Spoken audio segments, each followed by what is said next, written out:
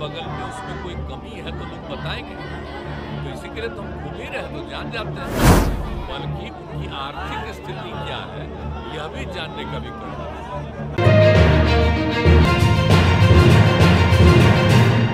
नमस्कार, मैं अदिति सिन्हा और आप देख रहे हैं आईवी टीवी बिहार में जातीय जनगणना की जो शुरुआत है, वो अब हो चुकी है। और इसी के साथ विपक्ष जो है, वो नीतीश सरकार पर जमकर हमलावर भी है।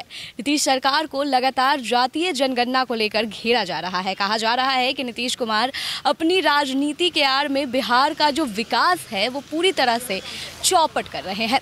वैसे में नीतीश कुमार ने बताया है कि जातीय जनगणना से सिर्फ़ जाति का पता नहीं चलेगा। इस जातीय जनगणना के अंतर्गत आर्थिक स्थिति क्या है बिहार की? यानी कि जो लोग आर्थिक रूप से पिछड़े हुए हैं, उनका भी पता चलने वाला है। आइए आपको सुनाते हैं नीतीश कुमार ने और क्या कुछ कहा है।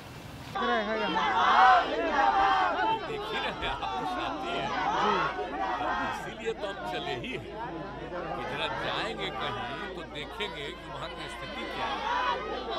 जो भी काम किया गया है अगल बगल में उसमें कोई कमी है तो लोग बताएँगे। तो इसी के लिए तो हम घूम ही रहे हैं तो जान जाते हैं। और तुरंत अधिकारी के साथ रहते हैं उनको बता दिया जाता है। जातीय जनगणना की भी शुरुआत हाँ, आपने जातीय जनगणना की शुरुआत देखिए हो भी गया एक जगह। तो भी देख करके हमने बता दिया कि एक एक बात ठीक से नोट करेगा अच्छा से नोट कर रहा है। और हमने कहा कि ठीक से सब चीज़ नोट करिए। और कोई आदमी यहाँ है और मान लीजिए उसके परिवार का कोई बाहर रहता है वो भी करिए। कि राज्य के बाहर रहता है कहीं बाहर रहता है तो सबका नंबर ठीक से अच्छा न रहेगा। जो लोग इस पर सवाल उठा रहे थे एक बड़ा दिन है बिहार में आज से इसकी शुरुआत आपने आपकी सरकार ने की है। ना तो सही है। तो हमने तो आज बता ही दिया है कि हम लोगों ने तो सबकी सहमति से किया। सारे पार्टियों केंद्र से भी कहा कि जाति आधारित जनगणना कराई लेकिन वो तैयार नहीं हुए का राज्य करे तो हम लोग तो करवा रहे हैं। और एक एक चीज़ करवा रहे हैं। आप अच्छी तरह जान लीजिए कि न सिर्फ़ जाति के आधार पर लोगों की गिनती गणना करवा रहे हैं, बल्कि उनकी आर्थिक स्थिति क्या है, यह भी जानने का भी कर।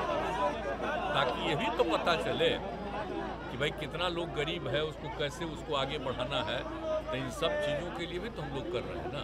और जब सब चीज़ रिपोर्ट होगा तो हम लोग उसको पब्लिश करेंगे और जो काम हमसे संभव है करेंगे और दूसरा केंद्र को भेजवा देंगे। कि आप देख लीजिए। भाई, केंद्र का काम क्या है? पूरे राज्य को न विकसित, देश को ना। तो कोई राज्य अगर पीछे है तो उसको आगे नहीं बढ़ाइएगा। तो ये सब बात भी हो जाएगा? तो इसलिए खाली हम जातीय गणना सिर्फ़ नहीं करवा रहे हम उनकी आर्थिक स्थिति का भी अध्ययन करवा रहे हैं। सब तरह से लोग जान जाएगा। हर जात का ही नहीं कि कोई पर्टिकुलरली नीचे का। सभी का तो सबका जान करके काम तेजस्वी यादव भी आज से यात्रा में शामिल हुए हैं आज।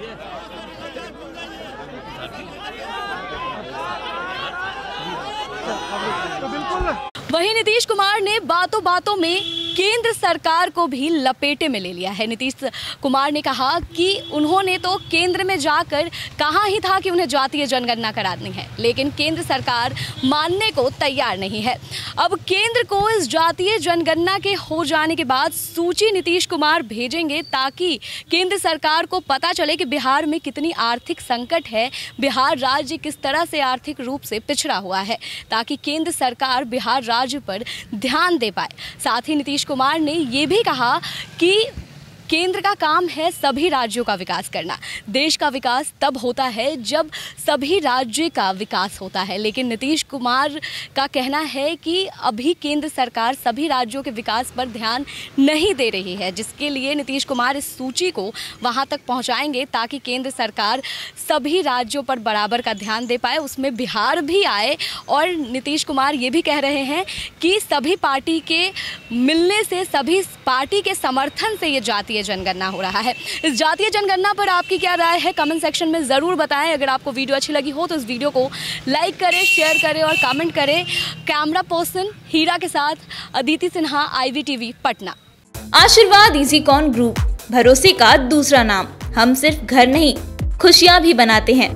आशीर्वाद रोज वैली, जिसमें है premium flats with all modern amenities Patna में लेना चाहते हैं अपने सपनों का आशियाना तो कीजिए हमारे इन नंबरों पर संपर्क।